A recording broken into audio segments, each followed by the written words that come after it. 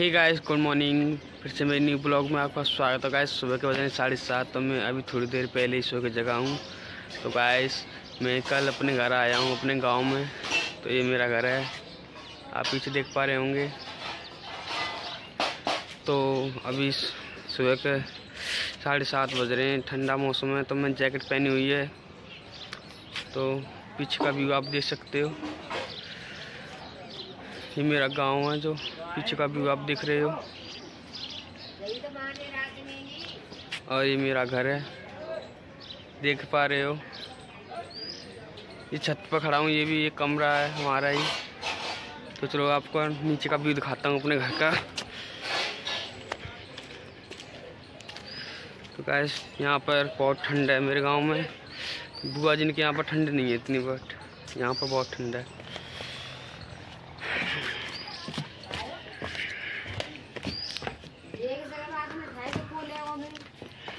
तो यहाँ पर मम्मी खाना बना रही है, पापा बैठे हैं। और ये रहा घर हमारा। तो तो आपको अंदर से दिखाता हूँ। और ये हमारे बड़े के भाई हैं। ये हमारे बड़े भाई हैं। और आप देख पा रहे होंगे, ऐसा हमारा घर है ज़्यादा। ठीक है, फिर भी तो गैस एक कमरा इधर की साइड है और एक कमरा इधर की साइड है। तो गैस इस कमरे में ना मेरी दादी थी, वो इस कमरे में पूजा पाठ किया करती थी। तो इसमें भवन बना हुआ हम इस कमरे को भवन के नाम से जानते हैं और कहते भी भवन का कमरा है।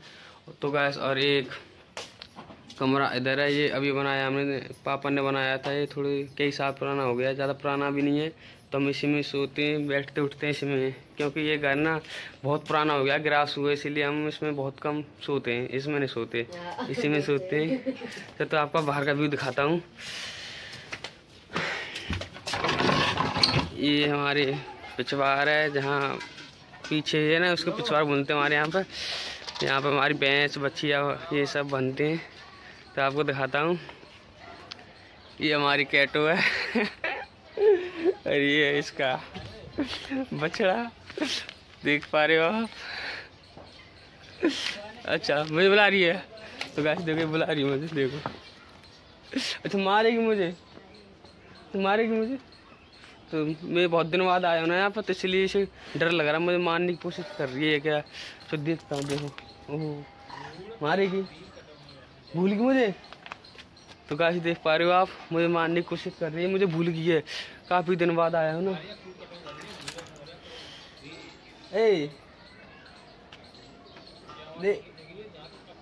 तो गैस मुझे मारने की कोशिश कर रही है इससे लग जाता हूँ तो खा सांकर वगैरह तोड़ देगी है, क्या है? और आप पीछे ही देख पा रहे होंगे। तो गैस ये हमारे पिछवाड़, यहाँ पे सब खाली पड़ा है, यहाँ पे भैंस वगैरह ये बनते रहते हैं तो इसलिए हम इसको पिछवाड़ बोलते हैं। और सामने पोखर है। आपको दिखाता हूँ इसका भी।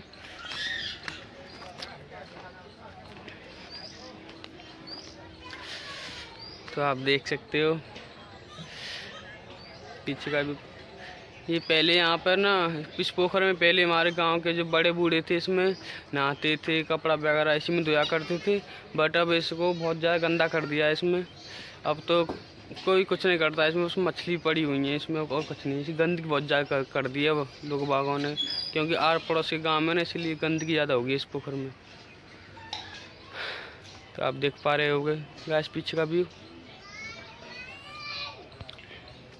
चलो तो गैस आपको मैं अपना गाँव दिखाता हूँ अब। चलो तो चलते हैं। गाँव का माहौल दिखाता हूँ। थोड़ा बहुत जितना बन सकता है मेरे से। रहने दे इतना क्यों? चलो चलते हैं। तो गैस घर से बाहर मैं आ गया हूँ। और ये छोटी सी गैलरी है हमारे घर के लिए आप देख रहे होंगे। जो तो मैं आपको गाँव का माहौल दिखाता हूँ।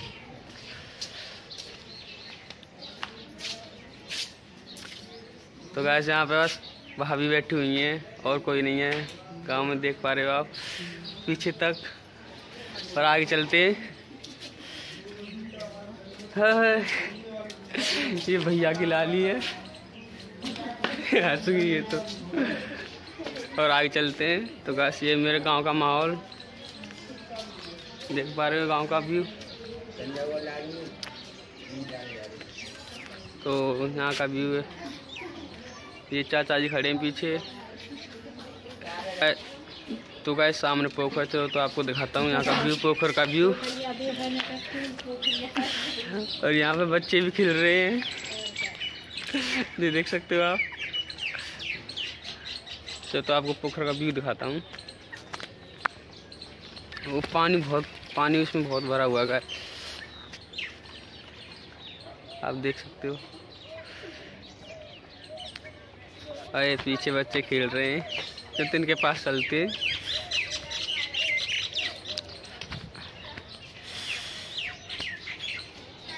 शर्मा गई तो शर्मा गई देखो ये मंजन कर रही है। दिलवीर ये मंजन भी कर रही है। इसका नाम है प्राची। है प्राची? हाँ। तो गैस ये मेरा गाँव ये मेरा गाँव का माहौल आपने देख लिया होगा। तो पीछे पोखरिया भी आपने देख ली होगी मगर तो गाय आपने मेरा घर भी देख लिया मेरा गाँव का माहौल भी देख लिया। तो गैस अगर आपको मेरा ब्लॉग अच्छा लगा हो तो प्लीज़ लाइक एंड सब्सक्राइब कर देना। तो गैस आज के लिए बस इतना ही। मिलते नेक्स्ट ब्लॉग में। बाय